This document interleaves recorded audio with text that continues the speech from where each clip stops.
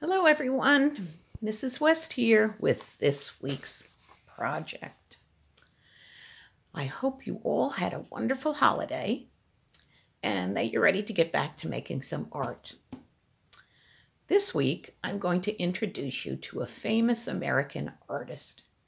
Her name is Georgia O'Keeffe. I don't know if you've ever seen any of her work, but I'll show you a few of them.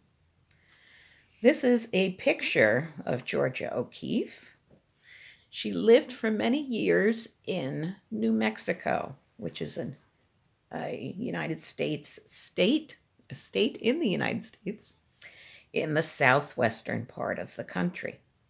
She lived in an area that was pretty much a desert, and the houses, she's standing behind, she's standing with her house behind her, is made out of a kind of mud, clay, and wood.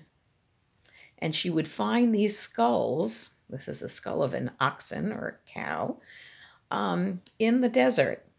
And she would take them home and sometimes paint them.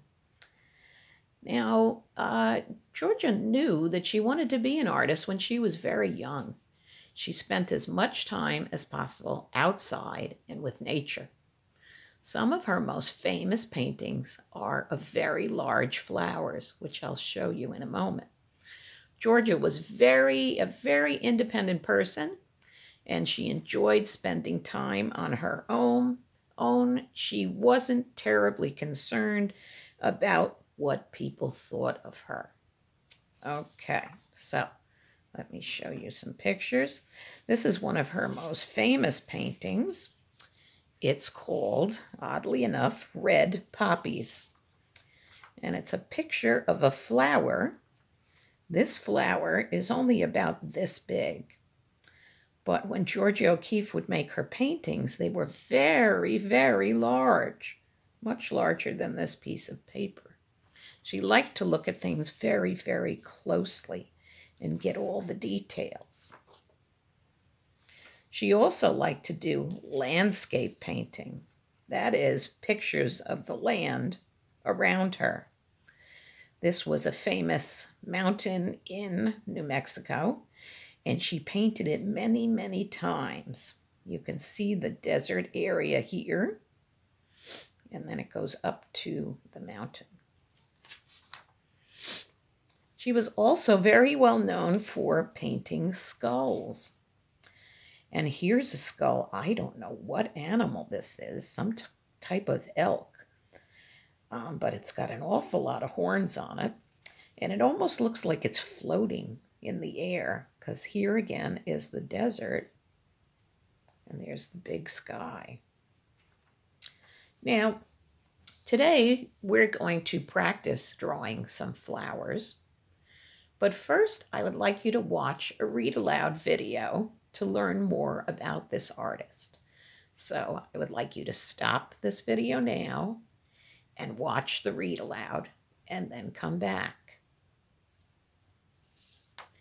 After you watch that, please watch my instructional video to practice drawing some of these flowers. Okay, now for this lesson, you are only going to need two things well, three, I guess paper, pencil, and an eraser if you need it. I am going to draw with a marker because it's a lot easier for you to see. So you will be working with a pencil and I will be working with a marker. You can't erase marker. Okay, so I'm going to start with this flower and then I'm going to work my way down to this flower. So let's get started. Now, this flower is going to start with rather a small circle. I have cut up some papers um, so that I do each flower on a different paper. It might be easier for you to see that way.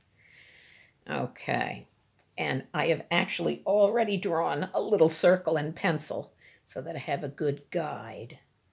Okay, circles can be hard to draw sometimes. Here we go. okay, now to help me, I'm going to put on five little lines. One at the top, two, one, two here, almost like arms, and one, two here, almost like legs. I know that I want to make one, two, three, four, five petals. So if I have five lines, that's going to help guide me to make five petals. So here I go. I'm going to make loopy petals. Not too big. Now when I draw petals on a flower, I will often turn my paper. You don't have to, but that's the way I work. Okay, there's my petal with five. There's my flower with five petals. I'm going to put some of these little marks in there because petals sometimes have these little, they're not lines exactly, they're like indents in the flower, but they can look like lines.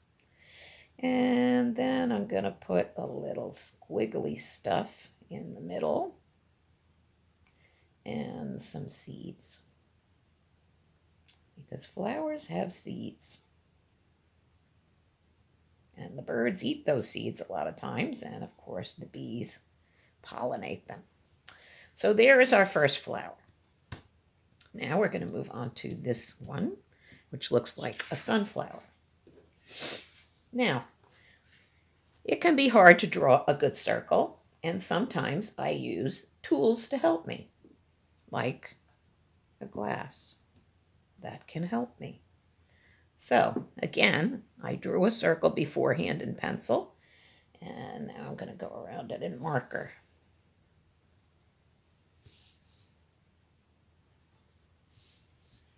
Again, I'm turning my paper because that's how I draw circles. Okay.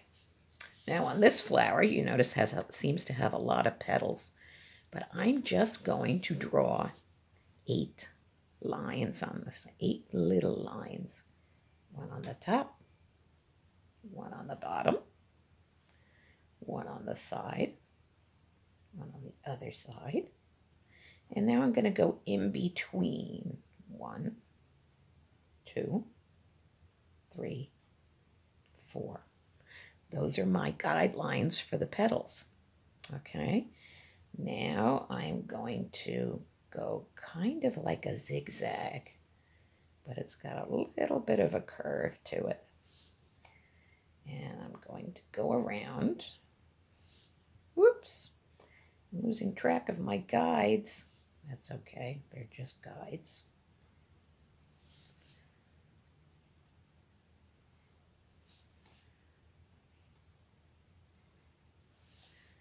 Okay, last one. Now, I'm going to put petals in between the petals. Okay, and those are just almost like little zigzags. Again, turning my page because that's how I work. You do not have to turn your page if you do not want to.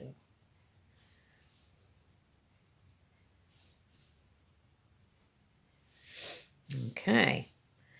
And I'm going to give these petals a little bit, that little line there, which is an indent in the petal. Remember when we did the cat whiskers and we just kind of went, Pew. that's what I'm doing with these. Pew.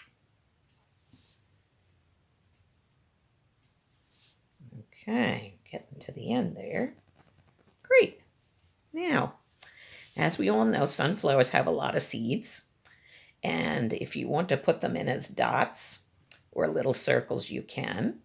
Or else you can do what is here called cross hatching, which is straight lines going one way. They don't have to be perfectly straight. They don't even have to go perfectly to the other side. Okay, here we go. And I'm going to do some this way. Because the seeds in a sunflower kind of like a grid, but they usually have more of a circle in the middle. So maybe I'll put a little circle in here. Okay, there we go. That was flower number two. let's move on to this flower. That looks like a daisy. Okay, small circle. Some spots in there. And I'm going to do my eight little marks again. Top, bottom, side, side, in between, in between, in between, and in between. I end up with one, two, three, four, five, six, seven, eight. Now I'm going to make these longer petals that come to a point. So I'm going to use curved lines. And it can be a little hard to get them to be all the same length, but we try. Nature isn't always perfect either. Neither are we. And I'm turning my paper. Some people like to do this with the paper right side up, not turning it like me. That's up to you. Okay, there we go. I don't know, it could go either way. Now I'm going to do these little indent lines inside, like the whiskers on a cat.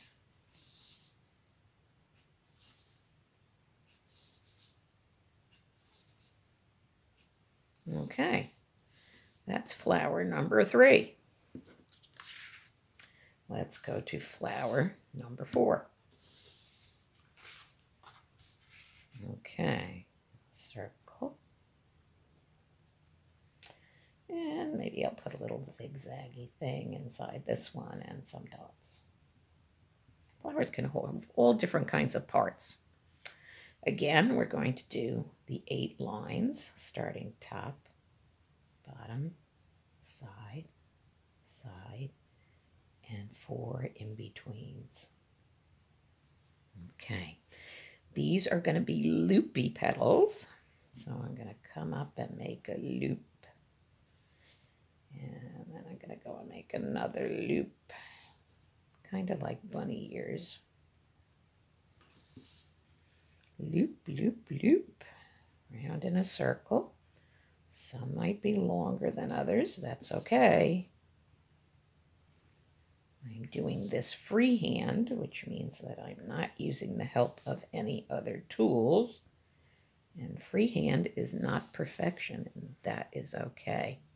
Now, on this one, I made double petals, and I'm going to show you how to do that on this one.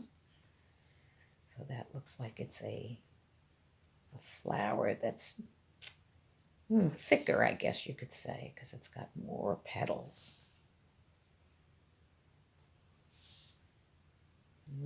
Okay, now this could be, I don't know, this could be a type of chrysanthemum or something called a cone flower. Whoops, I missed one. Okay, there we go. That was uh, flower number four. Now we're going to finish up with a simple tulip. Okay, and to make a tulip, I would like you to start with a letter U. Okay, that looks like a big capital U. Now, I'm going to make one sweeping line curve that goes this way. I'm going to make a small sweeping line that goes this way. And I'm going to make a little zigzag up top. I'm going to put a stem on this one because it looks kind of it like it needs it. Okay, there we go. Those are our five flowers. I would like you to make each of these. If there are other flowers that you truly, truly love to make, I would love to see them. Okay, but please do the practice flowers first because next week we're going to do our final project. I don't want you to do a final flower this week.